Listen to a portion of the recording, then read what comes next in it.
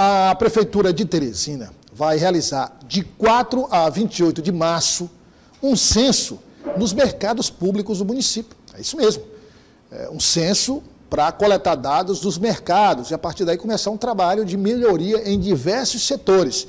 Nós vamos acompanhar o Eliezer Rodrigues, que esteve hoje na Prefeitura de Teresina. Você está vendo imagens aí é, do doutor Pessoa, das equipes, e você vai entender melhor como funciona esse censo, inclusive, se possível, para contribuir também. Eliezer Rodrigues. O trabalho vai acontecer nos 21 mercados públicos da cidade. Entre os objetivos está o de saber da situação formal dos permissionários. Os mercados é uma permissão. Assim como é do transporte coletivo, que deram a permissão quase praticamente com a vida inteira, que já acabou essa permissão no governo anterior. Nós estamos regularizando. Porque pode ter alguém, como às vezes a gente que já morreu e está recebendo benefício. É mais ou menos em torno de uns 3 mil permissionários.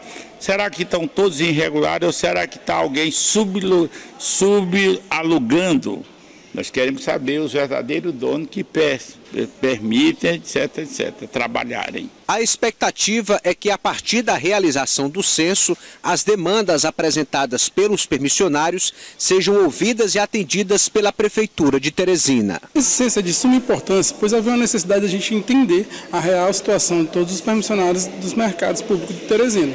Então, esse censo vem para a gente é, traçar esse perfil, fazer esse alinhamento permissionário-prefeitura, para que possamos estar destinando de forma é, é, correta e direta os recursos aplicados. Os gestores aproveitaram a agenda para se integrarem e fortalecerem as pautas apresentadas. Um melhor leque de trabalho, porque a gente vai ter hoje é conhecer todos os permissionários que nós temos é, do nosso mercado. Porque hoje tem muito permissionário que a gente não tem acesso, porque o box está fechado, porque algo parecido. Então, hoje, com o censo, a gente vai ter acesso a todos os permissionários e poder ajudar eles e também melhorar a gestão nossa e dos mercados. Entendeu? Sabe o processo aí? É o mesmo das casas que são financiadas, os programas é, habitacionais do governo do estado, do governo federal. É, você entra nesses programas, recebe é, incentivos por parte do poder público, os preços são bem menores, prestações reduzidas, mas você tem que morar na residência, porque são unidades habitacionais é, destinadas a pessoas que não têm moradia. Então você não pode deixar fechada a residência, você não pode alugar a residência. É a mesma, é uma das preocupações do censo que a prefeitura está promovendo é, bom, houve uma concessão de permissão da prefeitura para que determinada pessoa explorasse este box no mercado tal. A pessoa está efetivamente explorando, porque são pessoas que precisam, em tese, eh, daquele local para conseguir o seu sustento.